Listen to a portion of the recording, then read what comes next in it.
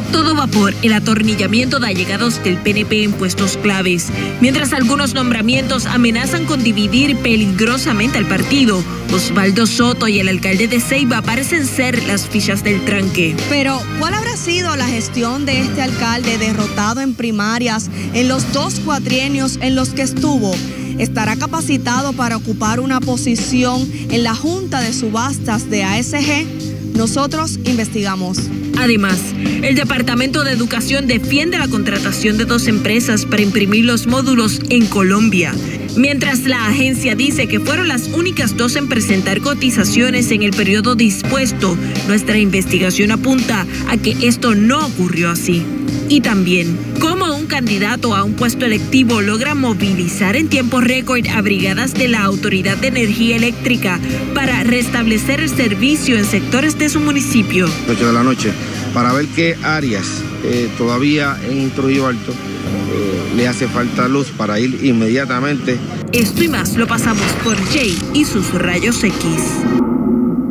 que ver lo que, lo que, lo que logra un senador con unos empleados de la autoridad, pero el presidente, el director de la autoridad dice, eso no pasa. Tenemos los videos, los audios, tienen que verlos esta noche de lo que según el director no pasa. Nosotros lo tenemos grabado. Tienen que verlo esta noche, porque esas cosas no pasan. No pasan, solo están grabadas. Pero nada, ser el hijo talentoso de un político tiene beneficios.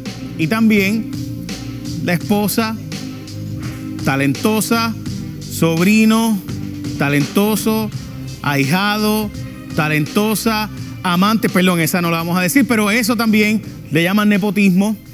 Y por ese chorro se están yendo millones y millones de dólares en salarios para familiares de políticos de todas las agencias, desde la fortaleza, el Capitolio, en las alcaldías, gente esta noche, el equipo de investigación del Nuevo Día va a compartir con nosotros su investigación, sus hallazgos de nepotismo en el gobierno de Puerto Rico, que honestamente esta noche le recomendamos que no coma más nada porque le va a caer mal.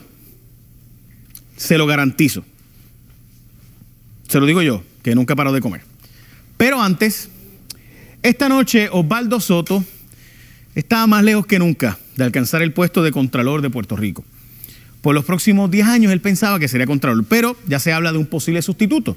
Se trata del CPA Luis Torres John Park, que también estuvo en la campaña de la gobernadora. Así lo reveló esta noche una fuente al periódico digital Noticel. La Fortaleza no ha reaccionado a esta información y tampoco a la solicitud que se le hiciera al ex o el ex presidente de la Cámara, José Aponte, de que retire el nombramiento de Osvaldo Soto, que para eso realmente fue la vista de hoy, para buscar que se retirara. Mientras tanto, otro nombramiento de la gobernadora se está tambaleando. No solo Osvaldo Soto. También se trata de otro. El alcalde que más la ayudó en su campaña, Ángelo Cruz, ha sido atornillado o intentado por de ser atornillado por Wanda Vázquez. Lo quiere atornillar en la Junta de Subastas de ASG, donde cobraría eh, más que lo que cobra como alcalde vamos a decirle que cobraría el doble de lo que cobra como alcalde. Garantizado por los próximos 10 años. Pero ya se demostró que Osvaldo Soto no está listo, no tiene los credenciales para el cargo. Pero el alcalde de Ceiba está preparado, ha hecho las compras correctamente en su municipio, ha utilizado el dinero para lo cual ahora estaría a cargo en las compras, ¿verdad? ASG, haciendo las compras del gobierno. Él lo ha hecho bien como alcalde, tanto que se merezca la posición después de haber sido tan cercano a Wanda Vázquez y a Rivera Chávez en su campaña. ¿Qué ha hecho el alcalde de Ceiba con sus compras y fondos públicos? Vamos a verlo.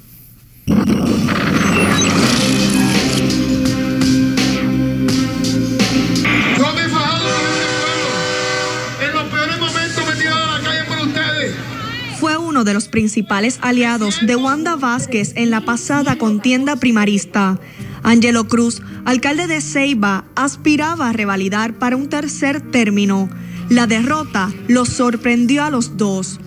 Un mes más tarde, su respaldo a la gobernadora rindió frutos. Su aliada política lo designó como miembro de la Junta de Subastas de la Administración de Servicios Generales, sin haberse seguido el debido proceso de ley. De ser confirmado su nombramiento, su salario de 54 mil dólares anuales como alcalde se duplicaría a 105 mil dólares. Pero, ¿cómo ha sido su gestión como alcalde que amerita el recién nombramiento que le hizo la gobernadora? Ya el pueblo aprendió a votar y se disgustó por el trabajo que él desempeñó en estos cuatro años. Entonces, pues ya el pueblo está aprendiendo y, y lo sacaron. Pienso yo que a lo mejor debe haber abandonado otros sectores como el campo y qué sé yo, pero que es lo que yo no puedo entender. Pero por lo menos en el área el recogido de escombros lo mantenía siempre al día. Por lo decir entonces que estás contento con su labor? Por lo menos yo, sí, como ciudadano de Ceiba, estoy contento. La gestión del alcalde me parece un poco irresponsable, ya que Ceiba es lo que él ha hecho en ocho años. Significa nada. En el 2018, a su gestión como alcalde se le otorgó una nota de D por la organización Abre Puerto Rico, una entidad que se dedica a analizar anualmente los estados financieros de los municipios. El municipio, en términos de su salud fiscal, pues ahora mismo no está en su mejor posición. El mismo índice de Abre colocó al municipio en el año 2014 con una nota mucho más positiva en el área y estuvo rondando entre A y B desde el año 2010 al 2013. Fue desde el año 2014 que empezamos a ver un deterioro en la salud fiscal del municipio. El municipio está ubicado en la posición 57 de 72. Y además de eso, si lo comparáramos con el resto, con todos los municipios eh, del índice de ABRE, pues está en el 50% de desempeño más bajo. la forma más fácil de verlo un mapa de Puerto Rico, si viéramos todos los municipios, pues hay 50% de esos municipios que por lo menos en el año 2018 tuvieron un desempeño de por lo menos de C, B y A, y el otro 50% pues tuvieron un desempeño de D o F, que es el, caso en el que estamos viendo eh, de Ceiba los gastos del municipio sobrepasan eh, por casi un millón de dólares eh, lo, lo, que ingresa el municipio en términos de recaudos fiscales. Esto se debe a que la mayor parte de los gastos en Ceiba son en deudas recurrentes, es decir, en el pago de nóminas y gastos comunes, lo que abre la puerta a que no se invierta en obras para el desarrollo económico. El municipio no ha tenido la capacidad de hacer eh, gastos en obras que permitan crear un desarrollo económico o por lo menos desde el punto de vista de la mayor parte de los gastos de los municipios. Precisamente una auditoría del 2018 del Contralor señaló el atraso en el pago de deudas y hasta el déficit presupuestario en el fondo operacional. Dos obras en las que se invirtieron más de un millón de dólares permanecían sin utilidad y en abandono. Nuestra visita al proyecto de la construcción de cuatro canchas evidenció que nada ha cambiado desde ese entonces. Este proyecto lleva años en estas condiciones. Hasta la fecha han sido desembolsados unos 729 mil dólares en la construcción a medias de las canchas. La segunda obra incluida en el informe es la guarida del Marlin, en la que se desembolsaron 306 mil 727 dólares. Luego del informe, la obra al parecer fue terminada, aunque permanece cerrada. Angelo Cruz ha sido un buen administrador. En términos de su nota y desempeño fiscal, los números de Abre de 2018 apuntan a una nota de D. Bueno, nuestro equipo analizó varios de los contratos que ha otorgado el municipio de Ceiba y encontramos que en medio de la pandemia el municipio gastó casi 3 mil dólares en servicios de pirotecnia, sonido, una orquesta y hasta un DJ para una actividad efectuada el 4 de julio en la playa Los Machos en este municipio. Semanas más tarde se registró un repunte de casos de COVID-19 en Puerto Rico. Ante estos hallazgos y los que presentamos en nuestro reportaje, intentamos obtener una reacción del alcalde Angelo Cruz, pero su oficial de prensa indicó que no iba a estar disponible, disponible para la prensa hasta que su nombramiento fuera evaluado por la legislatura. Adelante, Jay.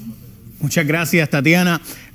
Por si acaso, nosotros hemos ido anteriormente a Ceiba para conseguir al alcalde y ustedes recordarán que John Paul estuvo detrás de él y nada, nos habló malo y estrujado. Así que sabemos, alcalde, lo suyo. Este, sabemos que, by the way, uno de los senadores dijo que no tiene los votos porque es un malcriado y un tráfala. Perdón, este, nada, solo dijeron fuera del aire, pero yo lo, escuché. Este, ok, no lo dije yo, lo dijo un senador. La ola de atornillamientos que arropa al gobierno se une a la estampida de familiares que inundaron las agencias públicas, el Capitolio o alcaldías. Se le llama nepotismo y esta semana el equipo de investigación del periódico El Nuevo Día está destapando la manera en que familiares talentosos llegan a trabajar por el simple hecho de estar emparentado con algún político. Vamos a ver parte, porque es muy amplia la investigación, pero queremos ponerle parte de la investigación que hicieron en el Nuevo Día sobre esto. Vamos a ver a qué nivel se puede llegar en los tentáculos familiares. Veamos el caso de Carlos Johnny Méndez. El presidente de la Cámara autorizó que el hijo de la ex representante María Milagros Charbonnier fuera reclutado por el representante José Che Pérez Cordero como técnico de comisión. Por otro lado, el presidente del Senado, Tomás Rivera Schatz, autorizó que el senador Luis Verdiel contratara a su hijo en su propia oficina y que José Luis Dalmau contratara a su hermana. Pero la práctica más generalizada es reclutar a un pariente en una entidad pública distinta a la que trabaja el alto funcionario. De esta forma, ni siquiera tiene que solicitar autorización. Por ejemplo, los reclutamientos de familiares en este cuatrienio vinculan a la gobernadora Wanda Vázquez Garcet. Su hija mayor mantuvo contratos en el Departamento de Corrección y Rehabilitación, mientras que su otra hija consiguió un puesto de confianza en el negociado para el manejo de emergencias. Y los casos son numerosos. El presidente del Senado tuvo a su hermana como gerente de comunicaciones de la Superintendencia del Capitolio. Pero no queda ahí. La madre de la hija del político es la directora de la Administración de Terrenos. De igual forma, el presidente Cameral tiene a su esposa como ayudante especial en la superintendencia del Capitolio, y su hijastro es ayudante del administrador en la Corporación del Fondo del Seguro del Estado. Dentro de la Autoridad de Energía Eléctrica hay múltiples redes familiares. Por ejemplo, la ingeniera Mirella Rodríguez es esposa del designado director Efran Paredes y logró un ascenso en este cuatrienio que fue consultado con ética gubernamental. El principio de mérito, a la hora de reclutar, debe ser vigilado por la Oficina de Administración y Transformación de los Recursos Humanos. Sin embargo, esta oficina no pudo evidenciar que haya hecho una sola auditoría a las agencias y municipios desde su creación en 2017. El costo que implica es demasiado porque es un costo de, eso tú lo traduces de un punto de vista de interés público, en favoritismo, en privilegio, en falta de acceso de toda la ciudadanía a los cargos y las posiciones que puedan entonces permitir servirle al pueblo. El amor que se tiene por un familiar, por hermoso que sea, es un interés privado y podría chocar con lo que es decisiones que tengan que ver con interés público. Bueno, nosotros hemos hecho investigaciones como esta, este es del Nuevo Día. Cuando regrese, los compañeros del Nuevo Día nos dicen un poco de detalles un poco más crudos eh, que vamos a dialogar con ellos. También queremos preguntarle a qué nivel es la red de gente, eh, porque en algunos casos empieza con el abuelo y el nieto y el, nieto y la novia y demasiada gente.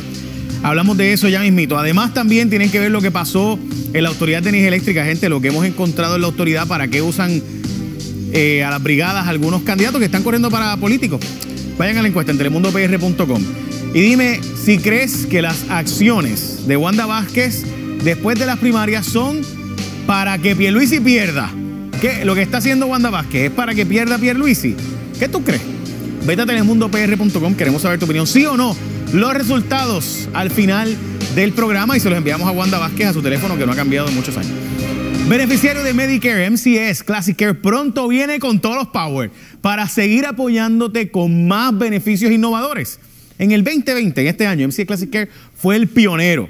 Al crear el beneficio, la tarjeta MCS Classic Care te paga, que es la original, que sí ha funcionado, tomando en cuenta, encontramos de la Autoridad de Energía Eléctrica, tienen que ver, eh, porque según el director de Energía Eléctrica, esto no pasa, solamente lo tenemos grabado y eso. Tienen que ver el video, pendiente. Pero ahora vamos a hablar con David Cordero y Laura Quintero, de Unidad Investigativa del periódico Nuevo Día. Gracias por estar con nosotros, buenas noches. Yo, yo quiero hacerles una pregunta para empezar los. Porque uno ve que los políticos pelean bien brutal y salen a, matarse entre ellos, pero cuando salió esta historia, como que los populares no hablaron mucho, ni los PNP tampoco, ¿no? Como que callado todo el mundo. Eh, ¿Me equivoco? O sea, ¿cómo ustedes perciben la reacción de, de los mismos políticos que ustedes investigaron?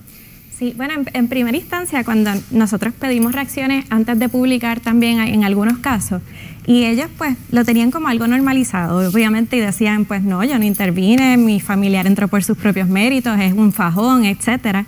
Este, pero posteriormente, pues sí, hubo un candidato a la gobernación que no quiso reaccionar y el otro, pues reaccionó molesto, así que más o menos este, tuvimos esa reacción. Mí, me dio un poco de risa la reacción de Abner, Abner Gómez, el de, el, porque dijo, yo fui la menos preparada, solamente era la, dije a la secretaria de Justicia, un pequeño detalle, ahora gobernadora. Con, este, un salario de 4 mil dólares mensuales. Sí, pero, pero, pero fue pura casualidad.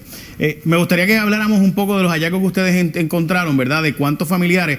A mí me pareció también impresionante el costo, porque estos son o sea, personas, por ejemplo, si yo fuera, y, y, y perdóname que les haga esto, si yo fuera hijo de la gobernadora, yo presentaría yo, aquí están mis facturas, aquí están mis horas trabajadas, aquí están mis horas... Cuando yo pedí esa información, nunca me la proveyeron. Cuando nosotros pedimos las horas trabajadas de la hija de la gobernadora en corrección, no, silencio. Y los porque pues había supuestamente una factura que presentaron mientras estaba de viaje, entonces yo decía, ¿cómo hacía las dos cosas a la vez? Pero no sé, pero los escucho. Sí, y así mismo de hecho nos pasó, la Cámara y el Senado nos entregó, ¿verdad?, los empleados de confianza, pero no así la rama ejecutiva, no quisieron entregarnos y nos dijeron que la instrucción vino de la fortaleza. Así que pues no hubo tanta transparencia ahí. Sí, exacto. Todas las contrataciones de confianza de la rama ejecutiva, muchas de esas no las pudimos cruzar porque eh, no nos dieron acceso a esa información. Así que el llamado a la transparencia eh, siempre lo llevamos. A mí me pasó hoy con Charlie, pero después le hablo de eso, Charlie. Desde el jueves pasado estuvimos buscando una información sobre él para publicar hoy, pero él dice que es la transparencia y qué sé yo. Y pues el debate fue el jueves, así que cool, pero llevamos hasta hoy, todavía no, no, han dado la información, pero es transparente, transparente. Ok, vamos a, vamos a ahora sí a los datos. Pues eh, nosotros, pues como verdad, tenemos aquí, tenemos 142 casos de nepotismo o vínculo familiar que encontramos, y eso en 54 agencias de un total, verdad, de 170 entidades públicas en la rama legislativa y la rama ejecutiva, y los municipios, por supuesto. Eh, esos 142 no necesariamente corresponden a funcionarios, porque los funcionarios hay algunos, como vieron en la gráfica, que tienen más de uno hasta siete familiares eh, en el gobierno. Este, y por supuesto esto es lo que nosotros encontramos con distintos mecanismos. Eh, estamos invitando a la gente a que nos traiga muchos más casos de forma sí, pues, yo me sé, por ejemplo, los, nietos de O'Neill. O sea, están varios de ellos, ¿verdad? Este, y los hijos y los nietos, y vamos a buscar ahí, que sé que me lo mencionan, son varios. O sea, el, alcalde de, de, por ejemplo, el caso del hijo de eh, del alcalde O'Neill, que fue que ustedes publicaron, eh, yo sé de unos cuantos más que no están ahí, pero de las esposas y, otra gente, ¿verdad? Sí. Este. Y, la, y, la, idea es poder levantar, ¿verdad?, esa, esa base de datos. Y entre ayer y hoy se han añadido ya dos nuevos nombres a sí, de la publicación, así que eh, habrá una continuación definitivamente. Sí, encontramos obviamente alcaldes de ambos partidos. Eh, Héctor O'Neill es el que más tiene, pues tiene una familia bien, bien amplia y, y aparente, y da la casualidad, ¿verdad?, que Tres de sus hijos trabajan en la Autoridad de Energía Eléctrica, otro en la Autoridad de Puertos, entraron en los 90. Sabemos que O'Neill estuvo muchos años en, el municipio de Guaynabo. Y tres de sus nietos entraron en 2017-2019 al Senado. Eh, y ahora están en agencias del gobierno, pero... Exacto. Ah. Este, otro de los, de los casos, ¿verdad? Tenemos también eh, a José Santiago, el alcalde de Comerío, exdirector de campaña de, Carmen Yulín. Él eh, tiene un hijo que trabaja en el municipio de San Juan y la hija trabaja en la Autoridad de Energía Eléctrica. Él nos hizo la anécdota de básicamente cómo entró ella. Y fue precisamente cuando el director de Energía Eléctrica visita a Comerío después del huracán María y él le presenta a su familia Em, y nada, como que simplemente los presentó, le dijo que ella tenía preparación en bibliotecaria. Em, y entonces, pues le dijo: Mira, da la casualidad que tengo una vacante de, bibliotecaria. Este, así que así ella se enteró del puesto y solicitó y pues la reclutaron. Y lo interesante de nuevo, eh, el hijo, él dirigía la, campaña de Carmen Yulín, el hijo trabaja en el municipio de San Juan, pero cosas que pasan, ¿verdad? Pajitas que le caen la leche. Eh, entonces, obviamente, en el caso de Mayita Meléndez, que sabemos que una de sus hijas probablemente sea eh, nombrada ahora para la judicatura, pero también hay algo importante de una de ellas, ¿verdad? Eh, la subieron de puesto, ¿verdad? Es como que ahora es la que está de jefe de nombramiento. Así que ahora todos los nombramientos pasan por ella. La jefa de nombramiento renunció hace tres semanas, cuando pues empezaron los nombramientos de atornillamiento. No, ya no quería seguir. Vamos a ver más. Pues, el, caso de eh, la ex senadora eh, Margarita Nolasco, que ahora es la directora ejecutiva de la ACA, encontramos que tiene la prima, un hijo, una sobrina eh, y posiblemente casos adicionales que, serán parte de de, una continuación de la, de la, investigación. También tenemos eh, el caso de los contratistas, es un caso eh, contratistas o, allegados ¿no? Eh, a, a, figuras con poder en las administraciones. Es importante mencionarlos porque estas personas no están cobijadas ni por la ley de ética gubernamental ni, ni, por ninguna ley de las que prohíbe nepotismo porque todas se refieren a funcionarios públicos. Entonces, estas personas básicamente están pues, por la libre, su, su influencia. Vemos el caso de Tito Laureano, que es un nombre que a menudo escuchamos cercano a distintas eh, administraciones. En su caso, la ex esposa tiene un, puesto en el Banco de Desarrollo Económico. Su hija fue nombrada en la Junta de Libertad eh, bajo palabra. Eh, también tenemos el, caso de la gobernadora que, ya lo mencionamos. Por supuesto, Elías Sánchez con su suegra, su esposa, su cuñada, de nuevo, no tiene... a mí me parece interesante regresar un momentito a la gobernadora porque las dos salen del gobierno cuando ella se convierte en gobernadora. pero si no eran tan buenas y tan eficientes, y ¿por qué, sacarlas? No, si eran buenas. Cuando ella se convierte, era secretaria de justicia, las dos trabajaban, by the way. Stephanie trabajaba en el departamento de corrección, pero su trabajo era con unos fondos que eran de justicia y justicia se los pasó a corrección. O sea, ella dirigía los fondos que eran para justicia y que justicia se los pasó a corrección y contrataron a la hija de la secretaria de justicia. Cosas que pasan en la isla del encanto.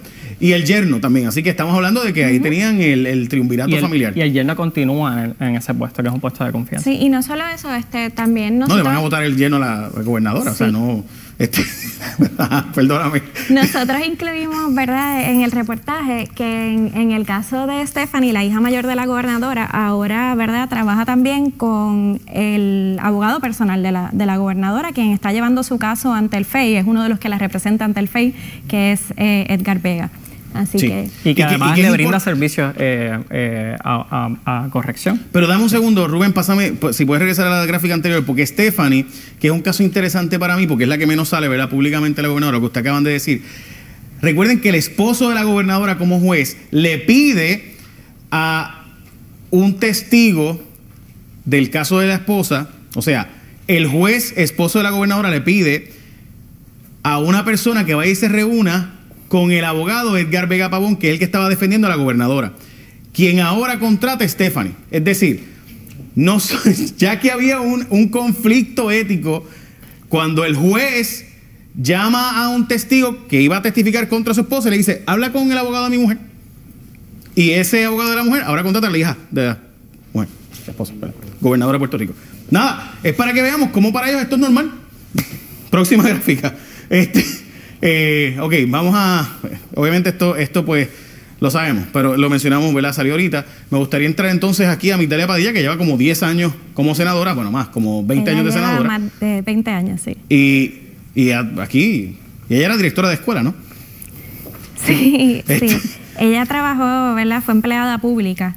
Eh, y en el caso de ella, eh, que tiene cuatro hijos en el gobierno, Dos de ellos, eh, los hijos, tienen puestos de supervisión, entraron en el gobierno antes de que ella fuera tan siquiera candidata, pero los incluimos porque sus ascensos ocurrieron, eh, aunque verdad ellos mencionan que compitieron como todo el mundo, que fueron convocatorias públicas, sus ascensos ocurrieron cuando ya ella estaba en su puesto en el, por el distrito de Bayamón. Y entonces tienes a otra hija que está en la lotería electrónica y eh, la, la, la cuarta que también trabaja en la Autoridad de Energía Eléctrica ya en un puesto de confianza. Yo creo que es importante plantear, y yo sé que ustedes lo destacan en su pieza, que ella es presidenta de la Comisión de Hacienda. ¿Qué significa eso? Ella es la que dirige los chavos, el presupuesto en el Senado. Es decir, ningún jefe de agencia quiere meterse contra ella porque ella decide qué presupuesto tiene ese jefe de agencia. Así que ni nadie en ninguno de esos puestos va a quererse meter con los hijos de quien decide los chavos que le llegan a su puesto. Pero, ¿cuándo son las próximas entregas del nuevo día sobre esto? mañana y el jueves. Mañana van a haber eh, dos entrevistas muy importantes con el director de ética gubernamental, eh, Luis eh, Pérez Vargas, y también con la directora ejecutiva de la Oficina de Administración y Transformación de los Recursos Humanos, la licenciada Sandra Torres. dos entrevistas súper importantes. El director ejecutivo de ética pues plantea que la ley de ética no tiene garras para simplemente alcanzar todos los casos de nepotismo, aunque reconoce esto como una manifestación de corrupción pública. Y por su parte, la licenciada Sandra Torres, eh, al momento de la entrevista no pudo evidenciar ni una sola eh, auditoría que haya hecho esa oficina desde que se creó en el 2017 eh, o, casos investigados eh, sobre, sobre nepotismo, cuando la oficina tiene el deber no simplemente de esperar por una denuncia, sino por velar porque se cumple el principio de mérito. Pendiente el nuevo día mañana y el jueves entonces, pendiente todos los días realmente. Muchas gracias por el trabajo que hicieron. Y sé que esto cogió meses, esto gente, esto no cogió tres días, ni cuatro días, ni dos semanas, ni tres semanas. Un trabajo como este coge meses. Así que cooperen para que salgan más, porque sabemos que son 800. No nos envíe todas las amantes y eso, porque no son necesarias. Este, esas no. Sabemos que hay muchas y muchos también. El secretario de Educación se fue a otros medios a justificar la impresión de los módulos fuera de Puerto Rico y a defender el proceso burocrático que se siguió. Lo que dijo él a otros medios, él le dijo a otros medios que unas cosas que nosotros tenemos evidencia de que como que no cuadran.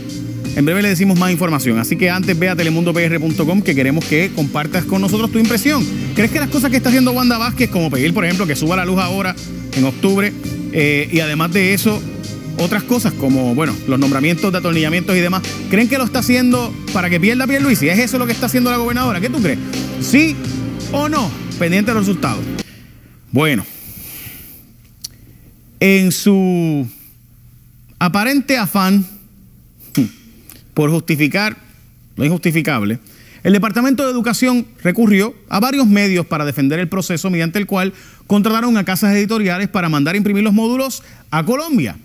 Mientras más investigamos, más descubrimos que el monumental atraso en la compra de computadoras e impresión de módulos amenaza seriamente la calidad de la enseñanza que reciben nuestros estudiantes. Vean esto.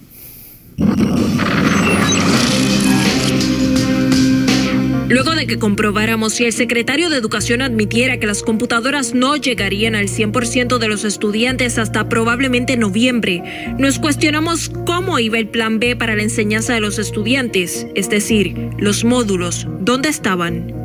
Inició con la identificación de aproximadamente 80 maestros por el Departamento de Educación, quienes iban a ser los especialistas para eh, desarrollar los mismos, y esto fue durante el 18 al 22 de mayo.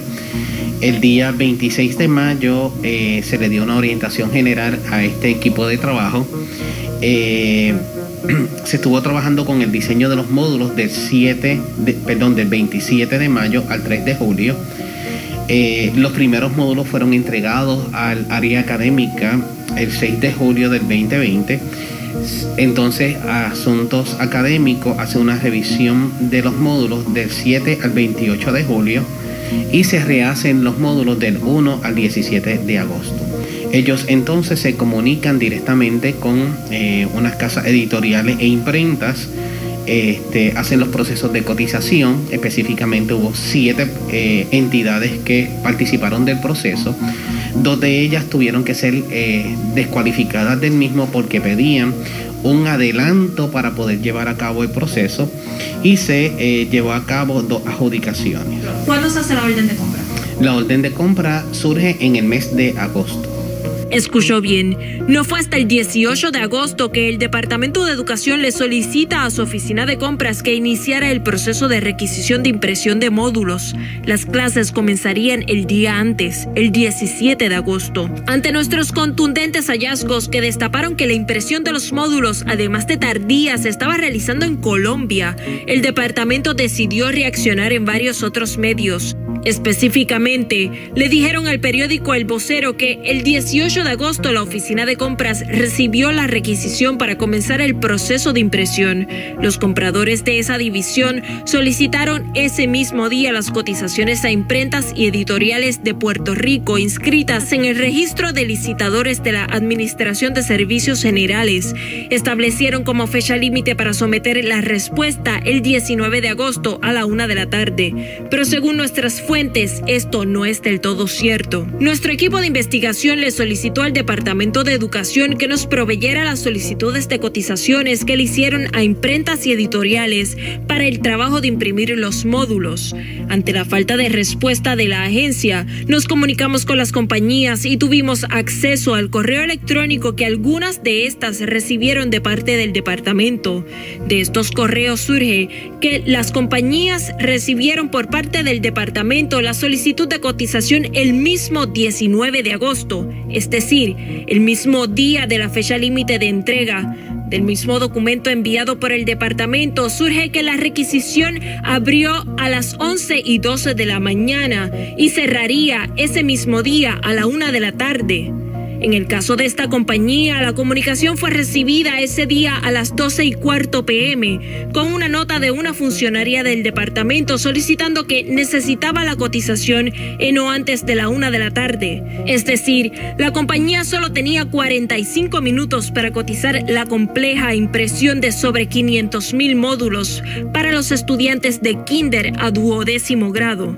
Otra de las imprentas consultadas nos confirmó que recibió la comunicación a las 2 y 31 de la tarde, ya habiendo cerrado el periodo de cotización. Todas las empresas nos confirman que contrario a las dos agraciadas con los contratos, a ellos siempre se les solicitó cotizar la impresión de los módulos de Kinder a grado 12. A las dos empresas seleccionadas, sin embargo, se les solicitó a una imprimir los módulos de prekinder a sexto y a la otra los de séptimo a grado 12. En educación daba unas excusas, le da unas entrevistas siempre a unos periodistas muy particulares, ¿verdad? No vamos a entrar en eso. Y daba unas excusas, después dio otras y otras. Nuestra compañera licenciada, Ana Valeria Iturbe. Eh, licenciada, para empezar, la excusa original era, si no me equivoco, que era que, ah, tuvimos que hacer estas dos porque las otras estaban pidiendo un adelanto. Eso, y ahora, pues, como que cambiaron la excusa. ¿Cuál es la excusa nueva? Correcto. Ahora lo que ellos alegan en este reportaje o esta entrevista que ellos le dieron al vocero el viernes pasado es que muchas de ellas entregaron luego de la fecha límite o la hora límite, que era el 19 de agosto a la una de la tarde. Pero este es el contrato o la orden de compra de una de las agraciadas y aquí podemos ver o se aprecia que entregaron la cotización, número de cotización, 24 de agosto del 2020. Ok. Y también otra cosa que dijeron era que le habían pedido una cotización a la propia imprenta de la, del Departamento de Educación. Pero ellos, ellos saben que está dañada, ¿no? Correcto. No entendemos cómo el propio departamento se puede cotizar a sí mismo en una imprenta que ellos tienen conocimiento que no sirve. By the way, lo que le dijeron también al vocero es que el, ¿verdad? entregaron tarde, pero es que ellos enviaron la propuesta el 18 y era para el 19. Y algunas la recibieron el mismo 19 y tenían hasta la una tarde y la recibieron a mediodía. Pero cosas que pasan. Algo más.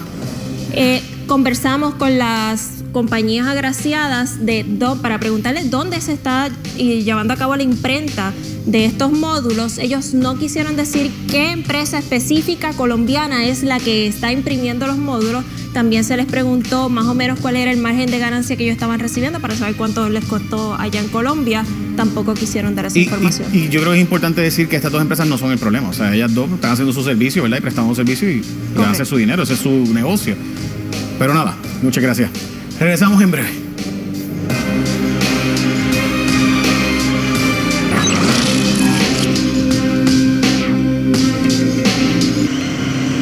José, envíame por favor el, el location por WhatsApp. Quiero revisar eso.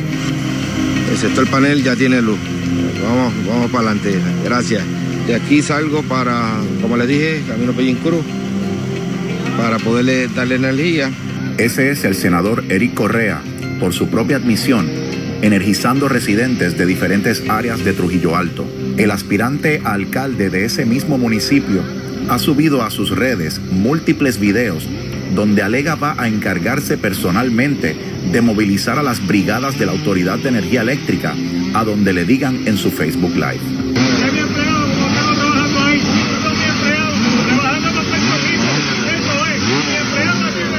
8 de la para ver qué áreas eh, todavía en Trujillo Alto eh, le hace falta luz para ir inmediatamente.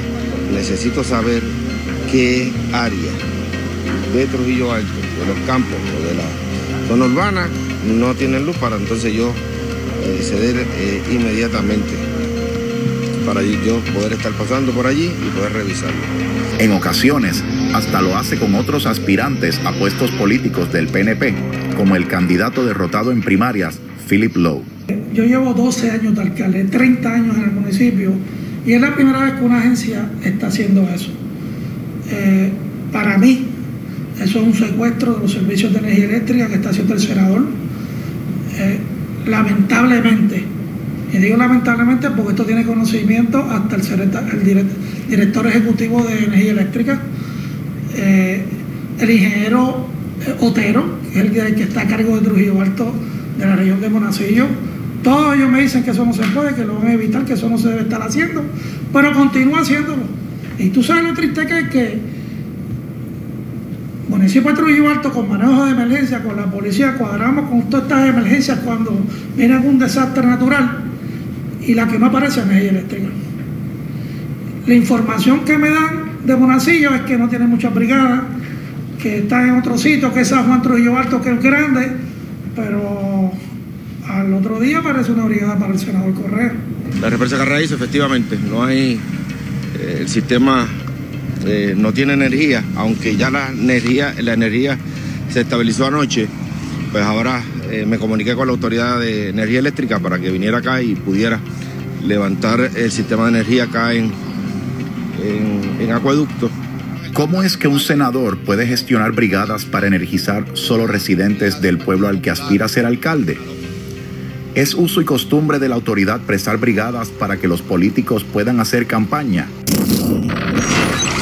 John Paul va con nosotros por si acaso. Tenemos muchos datos de esta investigación, no podemos presentarlos todos por cuestión de tiempo. John Paul, lo más importante, cuando el alcalde llama no aparecen, cuando el Correa llama sí aparecen, pero no están usando políticamente la autoridad. No, eso, eso dicen ellos. Lo, increíble es que no contestan. Intentamos eh, obtener reacción de Eric Correa, eh, pero está para hacer un Facebook Live, está, pero para contestar unas simples preguntas sobre cómo es que él logra hacer esto, a quién es que él llama en la autoridad para que le asignen brigada. Esa hora, hombre, ¿quién la está pagando? ¿La autoridad o la está, se, está, se está pagando por otra manera? O sea, ¿cómo es, cómo es que esto se hace? Debe estar eh, contestando la pregunta de cómo logró que costaran treinta y pico de millones de dólares los buzones.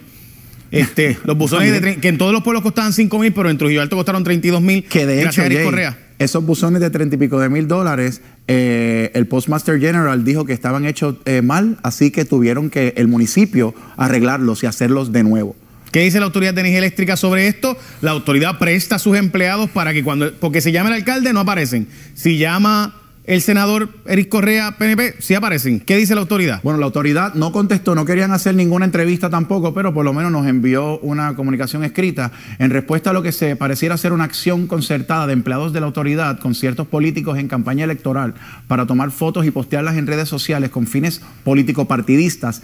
Es importante establecer que esta acción no es aceptada como una práctica normal del ejercicio de los deberes de un funcionario en su jornada regular de trabajo. De encontrarse evidencia de que esta situación está ocurriendo, la AE tiene la facultad de proceder administrativamente con este empleado y sancionarlo de acuerdo a la gravedad de la acción. no sé si cuentan los videos que acabamos de mostrar como evidencia. No sé. Director, tenemos nuestras dudas, pero sí sabemos que no es que los políticos van y se, se sacan fotos, no, no, no. Es que le dan instrucciones. Mm. Es que le dicen, vamos para aquí y vamos para allá y vamos para aquí, y yo lo voy a llevar para allá. Señor director, a mí no me molesta que usted nos haya enviado este escrito, lo que molesta es que nos quiera coger. Usted vio, usted vio los videos, no, no, aquí. No, y que, y que por lo menos den cara, que por lo menos expliquen, que nos expliquen, nos dejen ir a hablar con la persona de Monacillos. Nosotros tenemos más información de esto y tenemos mucha información, no la podemos sacar esta noche, o tenemos break porque es mucho el programa que tenemos esta noche, pero adelante, vamos a darle seguimiento a esto cuando regresemos. Ven, vamos a la encuesta.